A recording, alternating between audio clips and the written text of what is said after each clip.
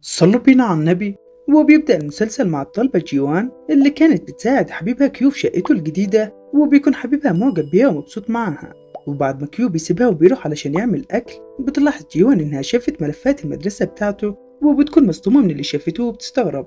وفي تاني يوم بنشوف جيوان راحت تتكلم مع صحابها البنات اللي كانوا بيسألوها عن السبب اللي خلاها تروح لبيت حبيبها. وساعتها جيوان بتبدأ تشرح لهم بكل حاجة حصلت وبتقول لهم إنها راحت علشان تساعده في شقته الجديدة. وبنعرف وقتها إنها كانت مستغربة علشان عرفت إنه بيتعلم في مدرستها الأولى وإنها شافت صورة حبيبها السابق موجودة معاه. وبتكون جيوان خايفة حبيبها السابق يعرف بعلاقتها مع صاحبه بسبب إنه هيقوله على ماضيها وهتكون محرجة. وبعد ما كيو بيروح يتكلم مع جيوان وبيقول لها تقعد معاه بيلاقيها بدأت تتوتر وبتقوله إنها عايزة تمشي. وبيكون كيو مستغرب من تصرفاتها ومش فاهم حاجة بس جيوان بتقوله إنها تروح تعمل الأكل لأخوها تونج وبنرجع بعدها للوقت الحاضر وبنشوف جيوان كانت بتتكلم مع أصحابها وبتقول لهم إنها عايزة تبعد عن كيو علشان ما يعرفش ماضيها. وبتكون صاحبتها جوريا شايفة إن طريقة تفكيرها غلط وإنه مش لازم تنفصل عن كيو بسبب ماضيها مع حبيبها السابق. وساعتها جيوان بتقول لهم إنها خايفة تكون معاه في يوم من الأيام وإن حبيبها السابق يشوفها كانت معاه ويحكي له عن ماضيها.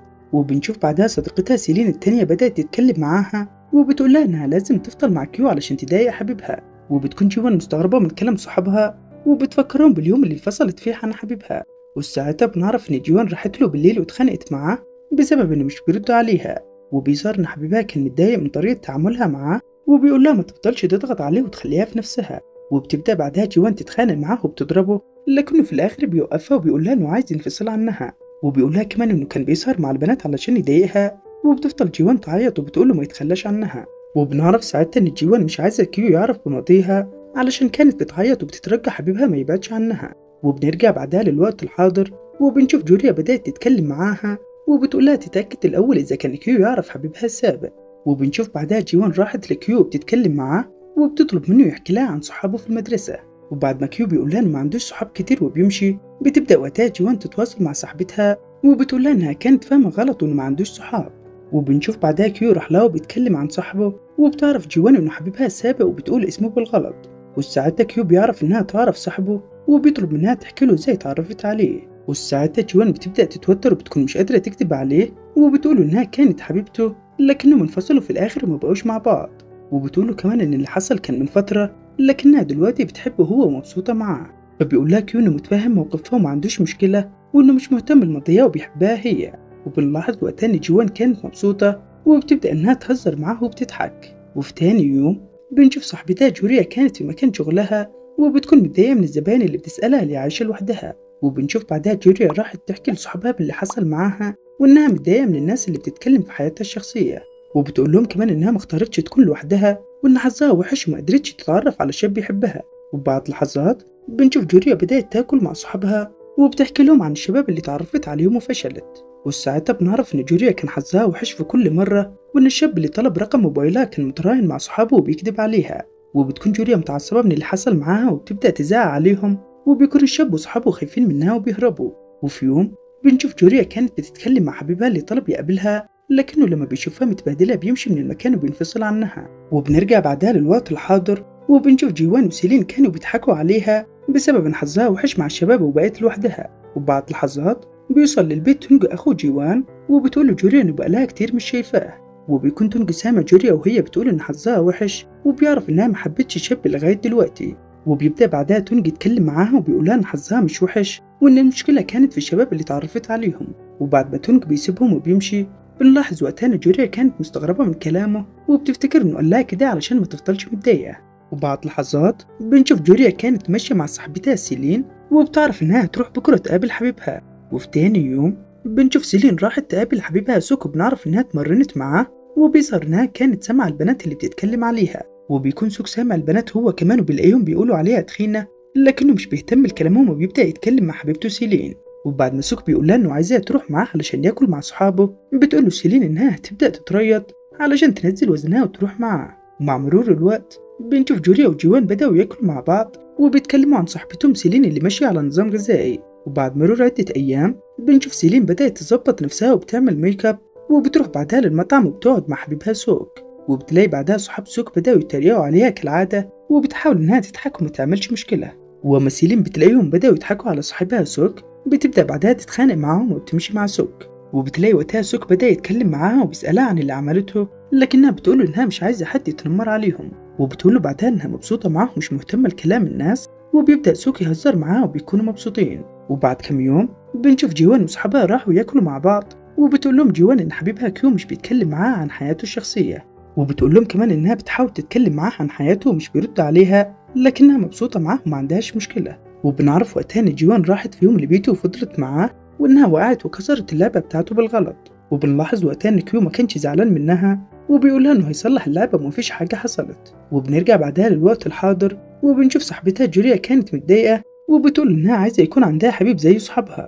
وبعد لحظات بنشوف كيو وسوك راحوا يقعدوا مع جيوان وصحابها وبيدوهم الأكل اللي شاروه علشان يحتفلوا. وبنلاحظ وقتها إن جوريا بدأت تتضايق من صحابها وبتتمنى إنه يكون عندها حبيب وتفضل معاه وبتلاحظ بعدها جيوان إن هما محتاجين أكل تاني وبتروح مع حبيبها كيو علشان يشتروا الأكل. وبعد ما جيوان بتروح مع صاحبها علشان يشتروا أكل بيلاقوا حد كان متعصب وبيتخانق مع الموظفة. وبيكون كيو متعصب من الراجل وبيبدأ يتخانق معاه لكنه مش بيهتم لكلامه وبيقول له يخليك في نفسك. وساعتها الراجل بيلاقي الناس بدأت تصوره وبيكون خايف وبيمشي بعدها من المكان ومش بيعمل حاجة. وبعد لحظات بنشوف جوان بدأت تتكلم مع كيو وبتشكره علشان ساعد الموظفة ودافع عنها. فبيقول لها كيو إنه مش بيحب الإنسان المتنمر وإنه بيحب يساعد الناس الضعفاء وبالليل بنشوف تونج أخو جوان كان بيبص لصور جوريا وبيكون باين عليه إنه معجب بيها. وفي تاني يوم بنشوف جوريا كانت في مكان شغلها وبتلاحظ إن في شاب بيتكلم مع بنت في الموبايل. وبعد ما جوريا بتروح للزبونة اللي عندها وبتتكلم معاها بتحكي لها عن الشاب اللي شافته بيتكلم مع حبيبته. وبتكون جوريا مش عارفة إن الزبونة تبقى حبيبة الشاب الأولى وبتروح بعدها الزبونة لحبيبها وبتتخانق معاه. وبعد ما جوريا بتلاقيهم بدأوا يضربوا في بعض بتحاول إنها توقفهم وبتفشل. وبعد لحظات بنشوف صاحبة المكان بدأت تتخانق مع جوريا بسبب إنها بتعمل مشاكل بين العملاء. وساعتها جوريا بتعتذر لها بسبب اللي حصل وبتروح بعدها تتواصل مع صحابها وبتطلب منهم ياكلوا مع بعض. وأما جوريا بتلاقي جيوان وسيلين بتأسفوا لها. بيكون باين عليها متضايقة علشان هتسهر لوحدها. وبنشوفها بعدها راحت تاكل وبتسهر لوحدها. وبتلاقي تونج ظهر بالصدفة وبيتكلم معاها. وبتكون جوريا مستغربة من اللي حصل وبتسأله إذا بيمشي وراها. لكنه بيقول لها إنه عايز ياكل ومش مهتم بيها. وبعد لحظات بنشوف جوريا بدأت تتكلم معاه وبيضحكوا. وبيكون باين عليها إنها بدأت تعجب بيه. والساعتها جوريا بتروح للحمام وبتفضل تفوق نفسها. وبتقول إنه ما ينفعش تعجب بيه وتحبه. وبتتخيل وقتها لو صاحبتها جوان عرفت إنها بتحب أخوها وإنها هتكون متضايقة منها وهترفض علاقتهم. وبتكون جوريا مش عايزة تخسر صداقتها مع جيوان وبتقرر إنه الأفضل تبعد عنه وما تفكرش فيه. وبنشوف بعدها جوريا راحت لتونج وبتلاقيه كان عايز يوصلها لكنها بترفض وبتقول إن طريقها مختلف. وفي الوقت ده بنشوف مون حبيب جيوان السابق كان بيبص على صورها وبيكون عارف إنها حبيبة صاحبه كيو. وفي تاني يوم بنشوف جيوان كانت قاعدة مع صحابها وبيحتفلوا وبتلاقي مون ظهر لها تاني وبتبدأ تتوتر. وبتحاول وقتها جيوان إنها تتجاهل اللي حصل وتحتفل مع صحابها بس مون كان بيفضل يتكلم معاها طول الوقت. وبعد ما جيوان بتلاحظ إن مون عايز يرجع لها بتبدأ بعدها تتكلم مع صحابها بصوت عالي وبتقول إنها بتحب كيو مش هتقدر تسيبه. وبعد ما جيوان بتروح لمكان الحمامات وبتقعد مع نفسها بتبدأ وقتها تفتكر اللي حصل معاها وبتقرر إنها مش هترجع لمون تاني. وبنشوف بعدها مون بدأ يطاردها وبيكون عايزها ترجع له لكنها بتبدأ تهزقه وبترفض تكون حبيبته. وبيظهر وقتها إن صحابها كانوا شايفينها وهي بترفضه. وبيقولوا لها بعدها إنها عملت الصح.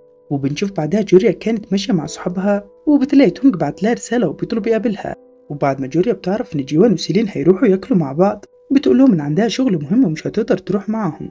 وفي تاني يوم بنشوف سيلين كانت ماشية في الأكاديمية وبتلاقي سوك بعت لها رسالة وبيطلب يقابلها وبتكون سيلين مبسوطة وبتروح علشان تقابله بس وقتها بتلاقي بنت جميلة وبتكون مصدومة.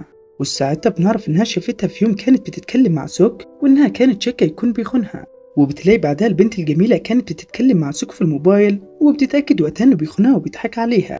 وفي الوقت ده بنشوف جيوان وجوريا كانوا في البيت مع بعض وبيحضروا مفاجأة لسيلين بمناسبة يوم ميلادها. وبعد لحظات بنشوف سيلين كانت بتتكلم مع سوك وبتقول إنها اتكلمت مع البنت الجميلة وعرفت كل حاجة. وبيحاول وقتها سوك إنه يشرح لها وبيقول لها إنها صديقته بس سيلين بتقول له إنها عايزة تنفصل عنه. وبعد ما سوك بيقول لها إنه راح معاها علشان يشتري لها هدية يوم ميلادها بتقول له سيلين إنها عارفة إنها مش جميلة وبتطلب منه يشوف حياته بعيد عنها وبتعرفه بعدها إنها مصدقة كلامه ومش بيخونها لكنها بتمشي وبتتمنى له السعادة بعيد عنها. وبعد لحظات بتروح سيلين لصحابها البنات وهي بتعيط وبتلاقيهم كانوا بيحتفلوا بيوم ميلادها. وبتبدأ بعدها سيلين تحكي لهم باللي حصل معاها وبتفضل تعيط طول الوقت ومش بتحتفل معاهم.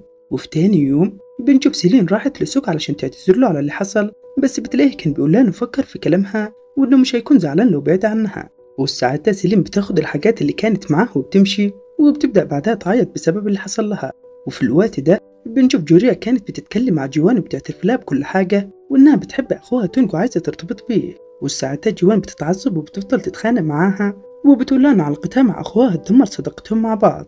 وبتروح بعدها سيلين لصحابها وهي بتعيط وبتلاقيهم كانوا بيتخانقوا وبتحاول تهديهم. وبتكون جوان متضايقة من تصرف جوريا وبترفض تتفهم موقفها وبتمشي بعدها من المكان وهي متخانقة معاها. وبعد مرور عدة شهور بنعرف إن هما فضلوا متخانقين ومش بيتكلموا وبتروح بعدها جوريا علشان تشتري آيس كريم وبيظهر وقت تاني جوان كانت موجودة وبتشتري آيس كريم وبتكون شايفة جوريا صاحبتها ومستغربة.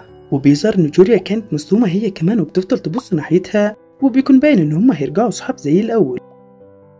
الفيديو ده كتبه عمرو وما تنسوش تعملوا اشتراك في القناة و like للفيديو وكمان تابعونا على قناة أنمي في ثواني علشان تشوفوا ملخصات الكرتون. وهتلاقوا روابط الانستا تحت في الوصف واعملوا لها follow هي كمان. سلام.